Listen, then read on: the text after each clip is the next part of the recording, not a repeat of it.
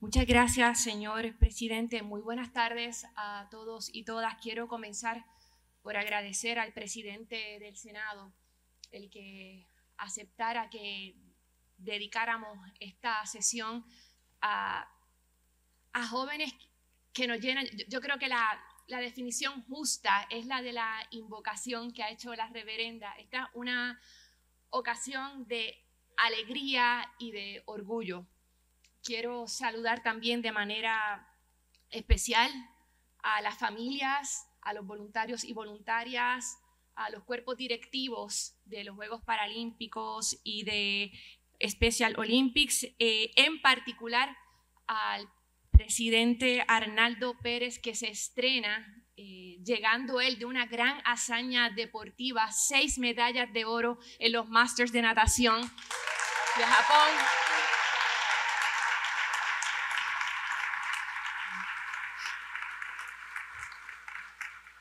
Y por supuesto a estos y estas atletas extraordinarios y extraordinarias. Esta es una gran celebración de la diversidad de nuestro país y de lo mejor que tiene nuestro archipiélago. Siempre que invocamos al deporte, y hace unos días estábamos recibiendo también a la delegación de los centroamericanos, siempre que invocamos al deporte, yo creo que, que hay tres cosas que nos mueven de una manera especial. Primero, lo que representa la disciplina deportiva más alto, más fuerte, más rápido, como el reto al cuerpo humano, a lo que cada cual dentro de su espacio es eh, capaz de lograr. Eh, en segundo lugar, que más allá del ratito que podemos ver lo que dure el juego de goalball o los minutos de gimnasia rítmica o los segundos del powerlifting, hay horas, días, meses, años de arduo trabajo.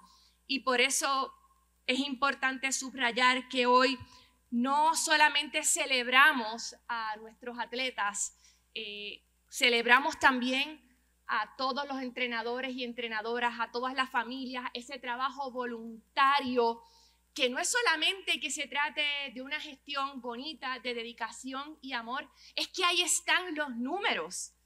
En Special Olympics, en esta edición de las Olimpiadas Especiales, en una competencia de 7.000 atletas, nuestros y nuestras atletas regresaron con 50 medallas.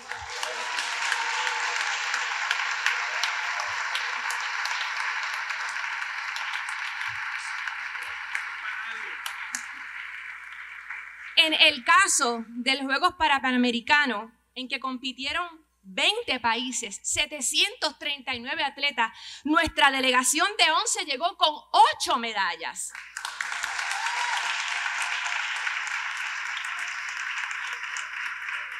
Cuando todo esto se hace partiendo de las limitaciones que conocemos, es que de verdad, es que de verdad lo que ustedes hacen es una lección de la capacidad de nuestro país.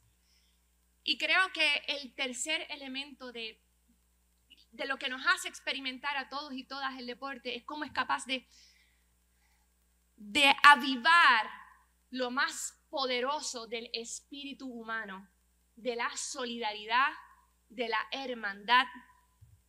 Yo no sé cuántas veces yo he visto ya el video de Esmeralda la Sirenita Encarnación, cuando al terminar sus 200 metros de natación, ya con su espacio en el medallero seguro, regresa a la piscina para auxiliar a su compañera de Arabia Saudita que había perdido el conteo y Esmeralda se metió al agua y nadó con ella porque ese equipo, ese evento lo terminaban todas.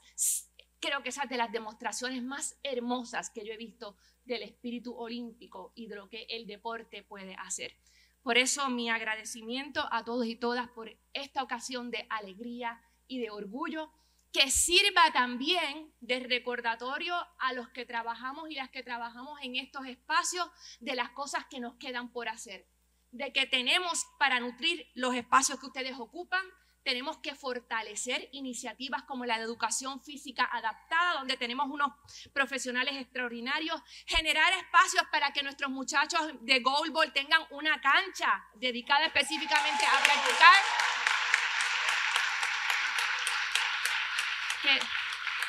mi agradecimiento, mi respeto y mi admiración para los atletas, las familias, sus entrenadores. Muchas gracias a todos y todas.